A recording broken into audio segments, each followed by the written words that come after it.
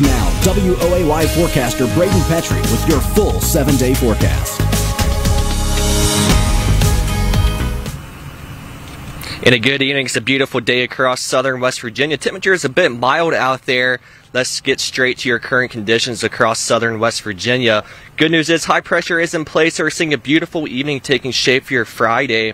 Mostly sunny conditions. But as we look back towards the Midwest, watch our next low pressure system associated with that cold front.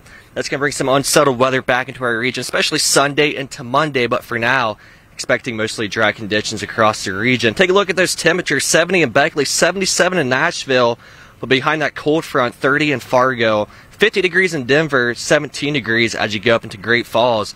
Those cooler temperatures will eventually be in our region as we go into next week. Current temperature is sitting in those upper 60s to low 70s, 66 in Marlinton, 71 in Summersville, 70 in Oak Hill, 67 degrees as you go into Bluefield.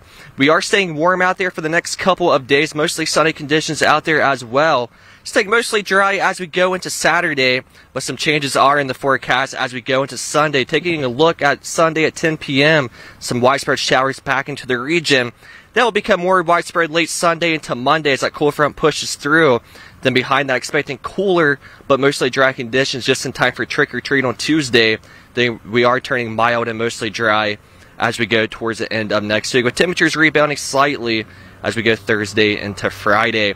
Football forecast for tonight looking beautiful across southern West Virginia. Temperatures in those low 60s. A mild and pleasant evening ahead. Halftime temperatures will be dropping into those upper 50s. So definitely a beautiful evening out there, especially for this time of the year. Seven day forecast features mostly sunny conditions, 70s in the forecast for Saturday. A couple showers possibly as we go into Sunday. Those rainy conditions and cooling temperatures are possibly Monday. Then take a look at that as we get Tuesday into Wednesday. Temperatures in those upper 30s for daytime highs. Nighttime low temperatures dropping into those upper 20s. But overall, expecting a beautiful next couple of days before those rain showers come back in.